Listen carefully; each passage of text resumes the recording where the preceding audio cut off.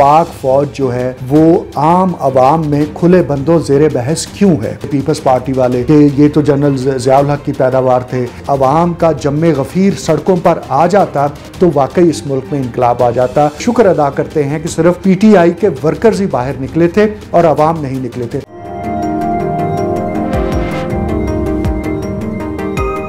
अस्सलाम वालेकुम।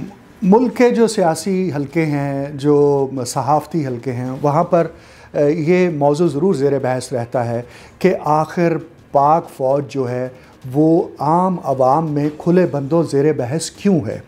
क्यों जर्नैलों के नाम लेकर लोग उन्हें लान तान करते हैं, लोग उन्हें अपना हीरो मानते हैं। कुछ जर्नैलों को एक सेगमेंट ऑफ़ सोसाइटी समझती है, ठीक थी। कुछ जर्नैलों को दूसरी सेगमेंट ऑफ़ सोसाइटी समझती है कि वो ठीक थे। मिसाल के तौर पर जनरल ज़ियाउल हक को नवाज़ शरीफ का जो रूहानी बाप कहते हैं पीपल्स पार्टी वाले, कि ये तो जनरल ज़ियाउल हक की पैदावार थे। और नून लीग वाले जनरल अयूब को ली फ़ील्ड मार्शल अयूब को भट्टो के हवाले से कहते थे। फिर आगे आकर जब हमने देखा कि इमरान खान सामने आए तो फिर जनरल पाशा का नाम लिया जाता रहा, जनरल मुशरफ का नाम लिया जाता रहा।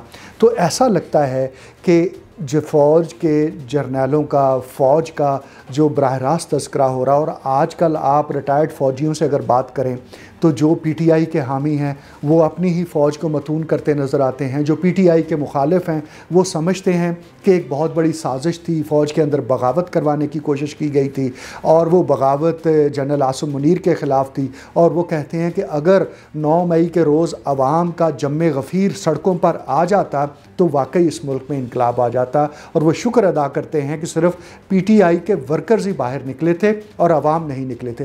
तो इस सब, जो स्काई लाइन एक बनती है, उस पर गौर करें तो क्यों ऐसा है कि फ़ौज इस वक्त खुले बंदों ज़ेर बहस है? अच्छा उसका एक बड़ा सबब ये है कि जनरल मुशरफ के ज़माने में हमने ये देखा कि एक नई किस्म की जो लीडरशिप है वो खड़ी की गई। कैसे की गई?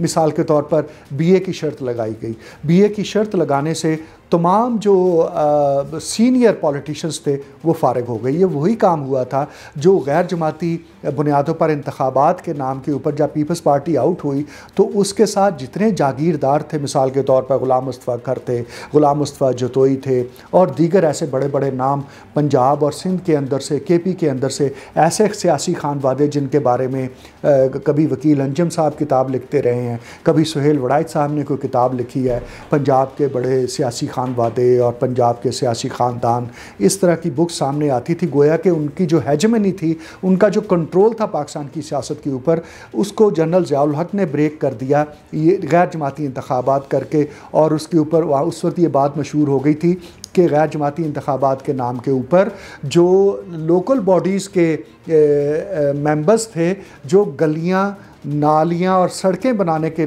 काम जानते थे। उनको उठाकर असम्बलियों में ले गए जनरल ज़ियाउल हक, क्योंकि वो अपनी एक कॉन्स्टिट्यूंसी क्रिएट करना चाहते थे। वो अपने इकतदार को दवाम देना चाहते थे। इसी तरह से जनरल मुशरफ जब आए तो उन्होंने बीए की शर्त लगाई। इसके साथ साथ उन्होंने बिज़नेस कम्युनिटी के जो चैम्बर्स थे वहाँ पर इन रोड्स बनाए। तो और उन्होंने बिल्कुल एक नई क्लास खड़ी कर दी। और वो जो लोग नाइन्टीज़ की दिहाई में नून लीग और पीपल्स पार्टी के साथ जुड़े हुए थे, उनमें से जो लोग जागीरदार तो नहीं थे, लेकिन इन्फ्लुएंशियल थे अपने अपने इलाके के। वो सारे के सारे बीए की शर्त की वजह से आउट हो गए और उनकी जगह पर यंगस्टर्स और नए लोग सामने आ गए। कोई बैरिस्टर था, कोई बाहर से पढ़ा हुआ, कोई वैसे जिसने बीए किया हुआ है, कोई वकील था तो एक नई पौध सामने खड़ी कर दी। और ये सारी की सारी को कन्वर्ट हो गई इमरान खान के नौजवान की आदत में। और नौजवान की आदत में जी, उसमें अली मोहम्मद सामने आ गए, उसमें मुराद सईद सामने आ गए, उसमें अली नवाज़ सामने आ गए।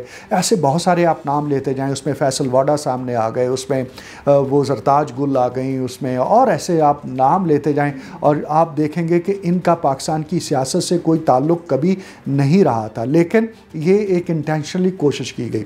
अच्छा इसके पैरेलल एक और काम भी हुआ। वो काम ये हुआ कि नेशनल सिक्योरिटी काउंसिल को कॉन्स्टिट्यूशनल कवर मिल गया। यानी जो नेशनल सिक्योरिटी काउंसिल है, कौमी सलामती काउंसिल जो है, उसमें जो फ़ौज के सरकर्दा अफराद हैं, सरबराह हैं, वो सिविल लीडरशिप के साथ मिलकर नेशनल सिक्योरिटी काउंसिल के मामला को देखने के मजाज बन गए।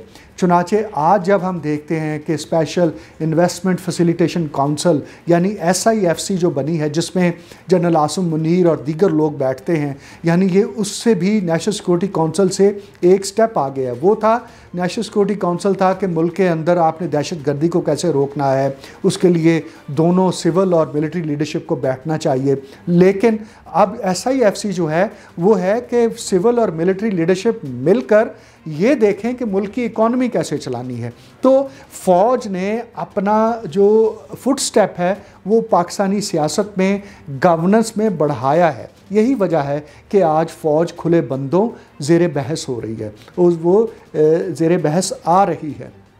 इसी तरह से जनरल फैज़ हमीद के ज़माने में तो उस वक्त के प्राइम मिनिस्टर खुद कहते थे कि मेरे लिए तो तमाम अगर कोई हमें कानून पास करवाना होता था तो ये लोग इकट्ठे करके देते थे।